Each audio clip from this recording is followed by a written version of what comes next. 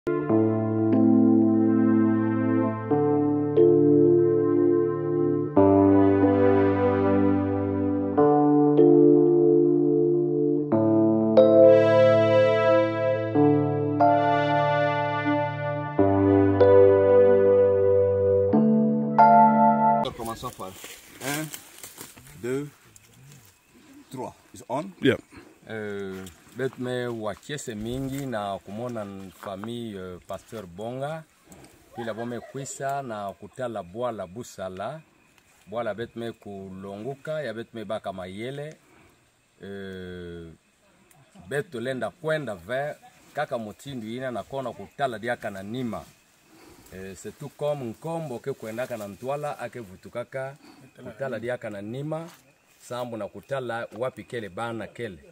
alors busala kele mission wapi ya betume longuka betume baka mayele betume kubaka ngangu ya kuluta diaka donc betu lenda kotala diaka fioti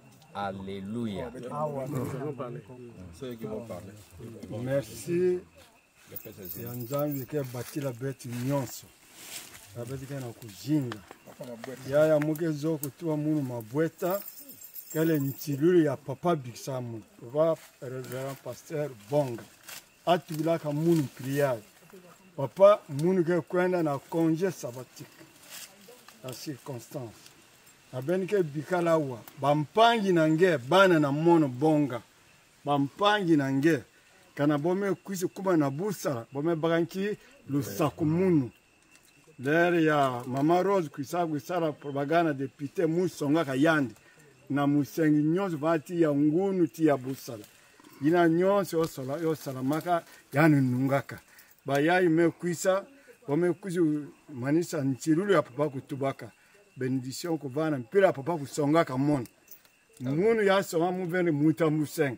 munu kele mwana ya nduku na yani lora masoso pase lora masoso ba relation aboga na yo yani ke jaba yani mutu songaka munu mume mwande bika njami kobaka lokumu na yina nyonso atuba yo me salama mpe munu ke ya moyo Amen. Amen. Merci. Donc, mon nom,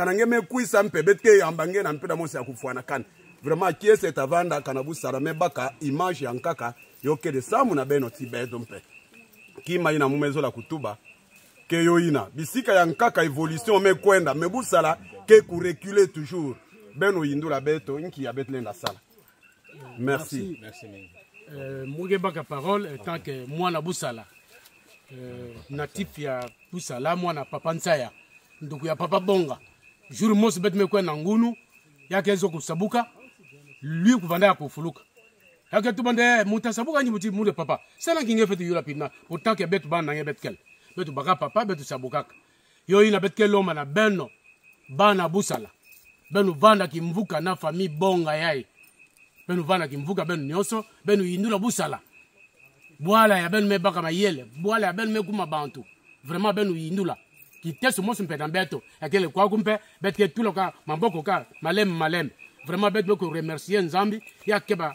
famille bonga yai yo okoya na ntwala bisali na bo vraiment nzambi kosa komona yina munu eh, nsaya malala metuba etant que président de la jubeco ya jeunesse ya district ya busala merci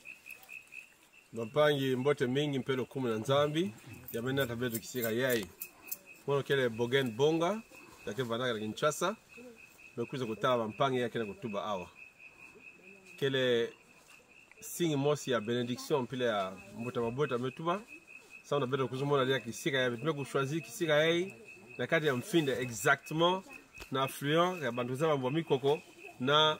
luzubi nde place oyo tumevanda kati ya mfinda sana kokumisa nzambi ya meme na tabiatu ya merci mingi sama mpangi mevanda awa merci sama lokwikili na beno de bwala fe tukufua ve beno osalaki te bonso bonso mona kwisa vutuka kwisa kotala busala sana kopesa yo diaka lokumu sana kopesa yo diaka ngemba ye na meme baka na kati na yo merci mingi na beno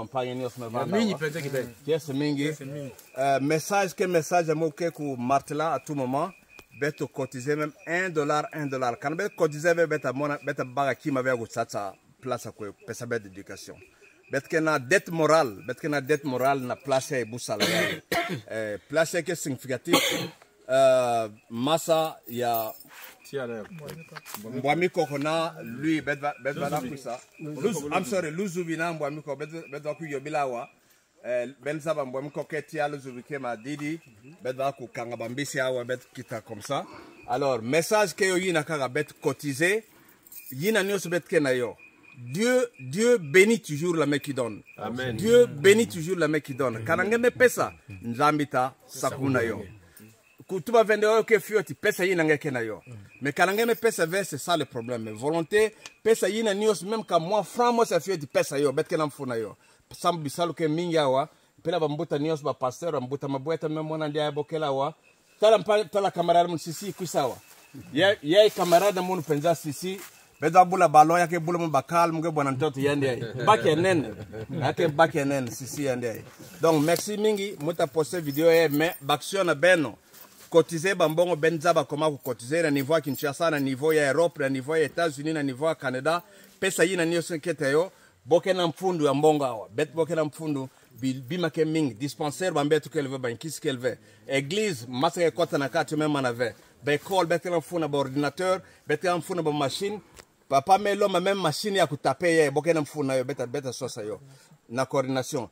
mais beti tula mbongi na en tout cas nzambi kusalisa beno eh, nzambi kubenir bafamille na bino nyonso ya kopesa beno moyen ya kozwa meme 1 dollar ou less ou, ou, ou 1 franc yina nde zomana kete yo beni peso merci mingi merci mokela wana bosala eh, ya kete Mbote na bino nyonso. beni nyonso merci